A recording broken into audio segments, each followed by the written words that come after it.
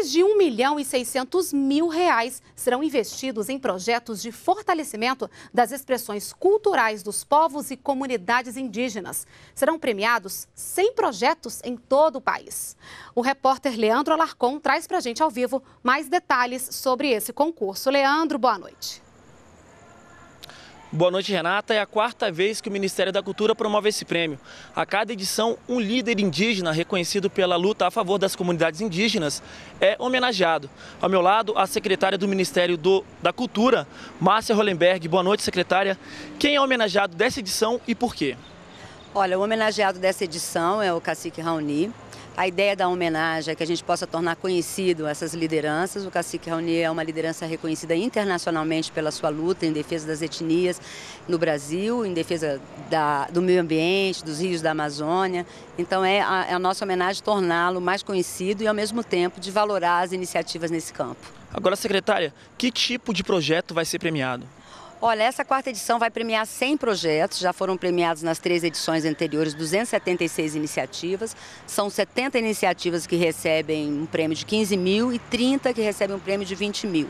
A ideia é que essas iniciativas contemplem uma comunidade ou uma etnia e as que são têm um pouco um valor maior, mais de uma etnia e comunidade indígena são premiados é, é, as, é, várias iniciativas no campo da música, no campo das celebrações, do manejo da terra, da forma do alimento, das brincadeiras, dos jogos. Né? Todo o conjunto da cultura indígena pode ser contemplado pelo prêmio. Agora, é, quem quiser participar, quem quiser apresentar um projeto, o que, que deve fazer? Olha, é, a nossa parceria é com a Arpinsul, né, que é a, a executora do, do, da iniciativa, junto com a Secretaria. É um, é um, um prêmio patrocinado pela Lei Rouanet pela Petrobras.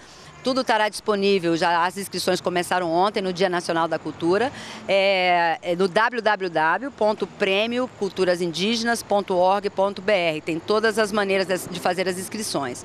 A Arpinsul também vai estar promovendo uma série de oficinas para facilitar esse processo. A inscrição pode ser pela internet, pode ser postal, pode ser por áudio, gravada.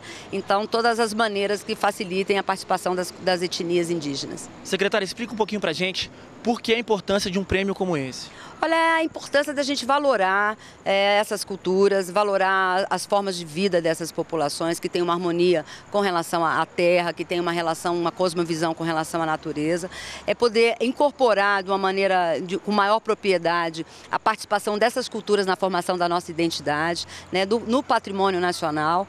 Então, é criar uma rede referencial né, que possa ser, é, inclusive, conectada, possa estar presente, apresentando para a sociedade né, o valor a participação, a juventude indígena, como é a sua atuação, como é que é a sua relação com a terra, né? E por isso mesmo compartilhando o conhecimento que essas comunidades detêm.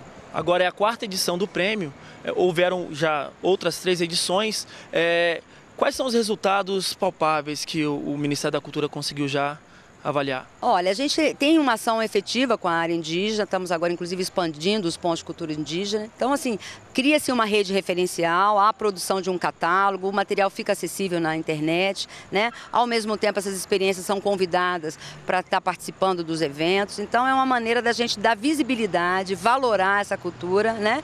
Que ainda é muito escondida da sociedade. Obrigado, secretária, pela entrevista.